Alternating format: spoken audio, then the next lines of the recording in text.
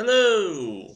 Now, today I was planning on drinking just stouts, but with the weather being as it was, too hot, too hot. But I've been waiting to drink this beer such a long time, such a long time. It's the Harvey's. It's not only a stout, it's a double stout.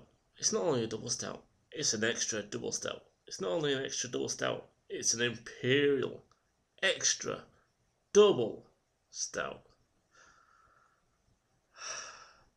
Purchased this at the bottle shop. look, look how it, looks like those uh, beers that you're not supposed to open. It basically supposed to age, age, age, age, age. But you know what? I just can't wait any longer.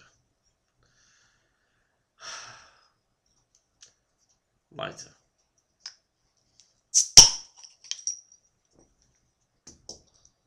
Uh, let's have a look.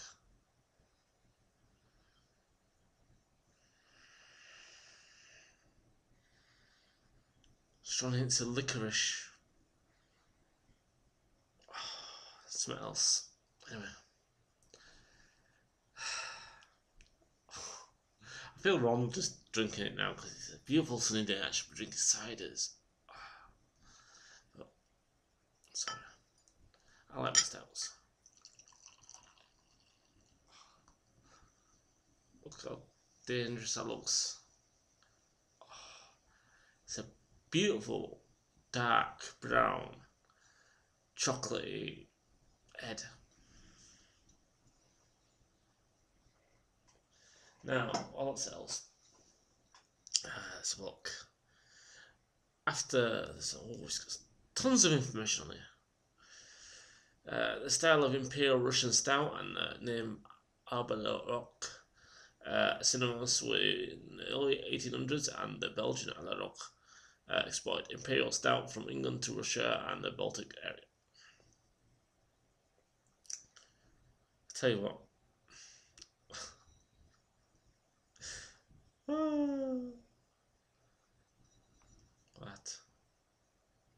The history on this bottle is just awesome. If you, can't get a bottle, get, a bottle because you get an history lesson and you get a beautiful looking stout. Look, look at that.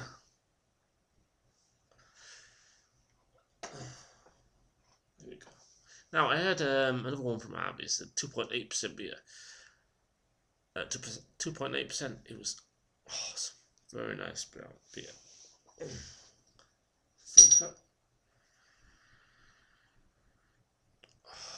Oh, just creamy dark chocolate, uh, licorice, and that's right.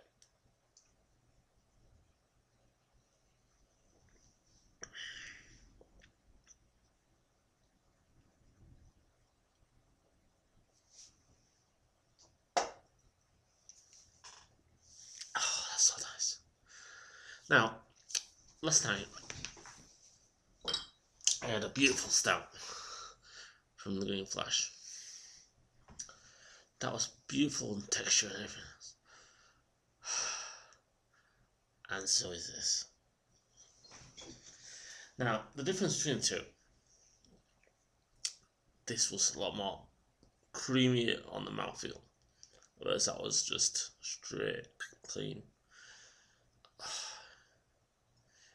It just makes you think that you're eating a dark chocolate ice cream. Mmm.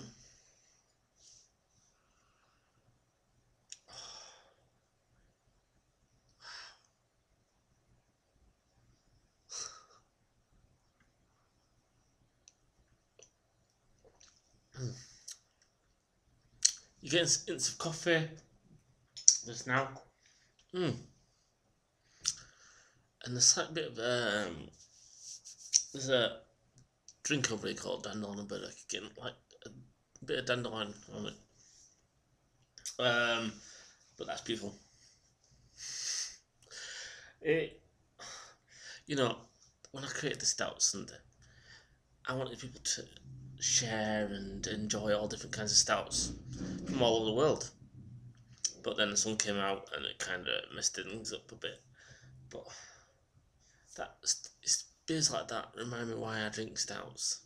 Mm. I'm like this. Great stout, great stout. You see either of them. Oh. Anyway, you take care. Goodbye.